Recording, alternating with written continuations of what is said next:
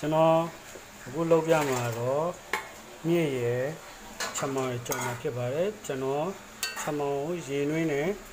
10မိနစ်လောက်ပြုတ်လိုက်ပါမယ်ဘာဖြစ်လို့လဲဆိုတော့မြင့်နဲ့ကြော်တဲ့ချိန်အဖတ်တွေအဖတ်တွေမဖြစ်နေအောင်လို့ပါမြင့်ကိုလည်းကျွန်တော်ရေသေးချာဆေးထားပါတယ်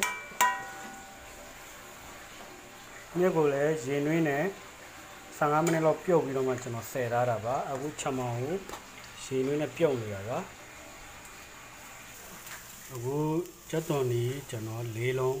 လီးပြီးထည့်လိုက်ပါပြီ။စနစ်မောင်းနှစ်စွန်းထည့်လိုက်ပါတယ်။ညုတ်သေးသေး6တော့ကိုကျွန်တော်ညှက်ပြီးထည့်နေပါတယ်။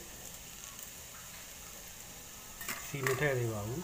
။စားဝနေတော်လေးထည့်လိုက်ပါတယ်ကျွန်တော်ဟင်းကတ်ချုံမို့အနည်းငယ်ထည့်ထားပါတယ်။ကျွန်တော်စီကိုဟင်းချက်တဲ့ဇွန်းနဲ့၃ဇွန်းထည့်လိုက်ပါမယ်။ တုံးလုံးထည့်ပြီးတော့နှံ့အောင်မွေပေးရပါမယ်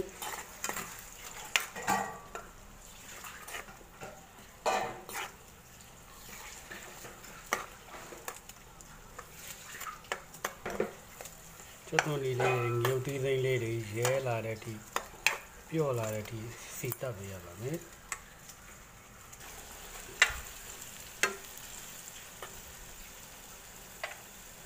ကျွတ်သွန်လေးလေးတွေငုတ်တီးသိန်းလေးတွေကို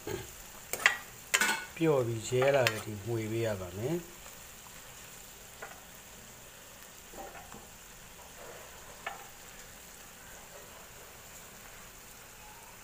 အခုကြက်သွန်လေးလေးတွေရဲလာပါပြီရဲလာတဲ့အတွက်ကျွန်တော်မြက်ကိုအရင်ထည့်လိုက်ပါမယ်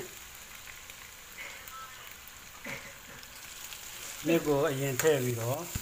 နှံ့နေအောင်မှွေပေးရပါမယ်နည်းနည်းတော့စိတ်ရှိရပါတယ်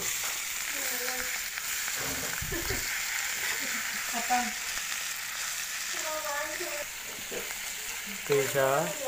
နှံ့နေအောင်ဝေပေးရပါမယ်။ဘုရားသာလေးတွေစိတ်ပြီးဝင်သွားအောင်လို့နှံ့နေအောင်ဝေပေးရပါမယ်။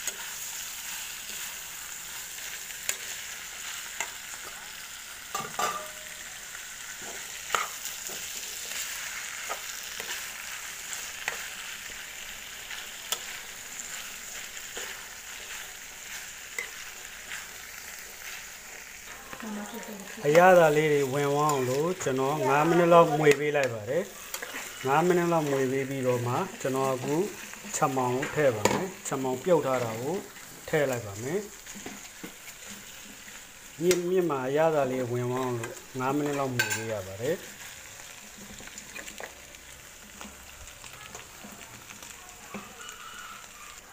ခုကျွန်တော်မြက်ကိုခြေပြီးတော့ထည့်ပြီးတော့နှံ့အောင်မြည်ပေးလိုက်ပါမယ် မြက်အဖတ်ကြီးတွေမဖြစ်အောင်လို့လက်နဲ့ခြေလိုက်တာပါ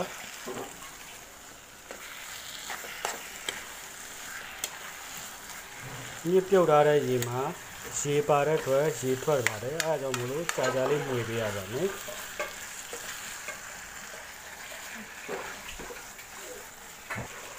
စားနှင်းငယ်ထည့်ပါမယ်စားပေါ့နေတဲ့အတွက်စားနှင်းငယ်ထည့်လိုက်ပါမယ် စားနှင်းငယ်ထည့်ပြီးတော့နှံ့နေအောင်မွေပေးရပါမယ်ရေလေးတွေ6တတိမွေပေးရပါမယ်ရေ6သွားပြီဆိုလို့ရှိရင်တော့အရန်ကိုရိုးရှင်းလွယ်ကူတဲ့